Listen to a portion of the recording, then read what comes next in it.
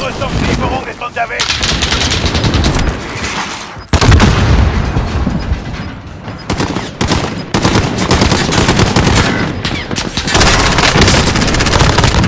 Das Gas breitet sich aus. Sicherheitszone wird verlegt.